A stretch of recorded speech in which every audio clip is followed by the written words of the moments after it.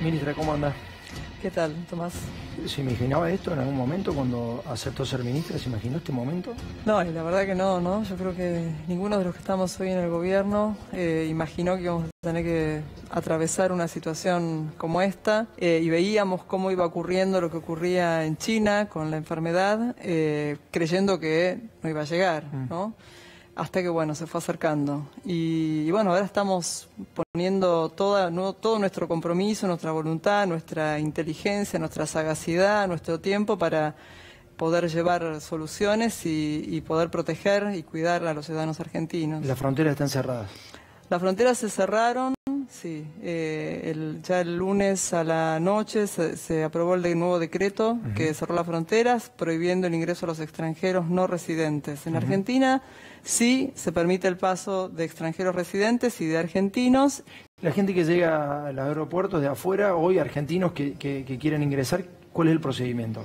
Si son de zonas riesgosas, tienen que pasar por el protocolo que estableció Sanidad de Fronteras. Eh, y tienen que guardar una cuarentena de 15 días. ¿Cómo se garantiza esa, cuarentena? Una es apelar a la conciencia de la responsabilidad individual y al cuidado que el presidente además le encomendó, le encomendó a todos los que estaban en esa situación. Y también nosotros implementamos a partir del día eh, lunes un, eh, un, número que ya funcionaba, que era el 134, pero para otro tipo de denuncias vinculadas con delitos federales, se habilitó para denuncias de personas que debieran estar cumpliendo la cuarentena y la estén violando. Ese número telefónico recibe aproximadamente, recibía aproximadamente 500 llamadas diarias. En el día de ayer recibió aproximadamente 2.600. ¿Cómo se filtra la información? Lo que hacemos es cruzar eh, la denuncia, los datos de la denuncia. Hay denuncias de todo tipo, ¿no? Pero nosotros lo que nos interesa son básicamente las denuncias de este punto que mencioné recién. Eh, se cruzan con los datos que nosotros tenemos de los eh, pasajeros que volvieron de las zonas de riesgo, que son datos que tiene Migración, y Sanidad de Fronteras.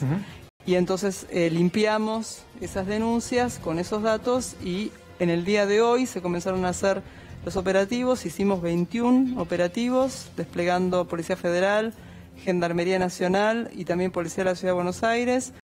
Y ahí hace un rato estaban con un procedimiento de un turista italiano que no estaba cumpliendo la cuarentena para, sacarlo del, país. Eran 2.500 denuncias y me dice que hicieron 21 procedimientos. ¿Faltan recursos humanos? ¿Qué es lo que falta? Eh, no, no, no. Estamos, estamos digamos, de, los 2.500 de ayer, aproximadamente unas 70, un 10%, un ah. poco menos, son eh, denuncias que entran dentro de esta categoría. Se aprende el italiano. Por ejemplo, es italiano, que puede ser un, un factor de riesgo para la sociedad, se lo aprende y a dónde se lo lleva. Y en, el caso de un extranjero se lo deporta. Se lo deporta. Sí, es una palabra fea, fuerte, pero es así. Estamos expatriando a personas que no cumplen con la obligación de mantener la cuarentena. ¿Y si es argentino, dónde se lo lleva? Se le abre una denuncia, o sea, esa persona va a tener una causa penal.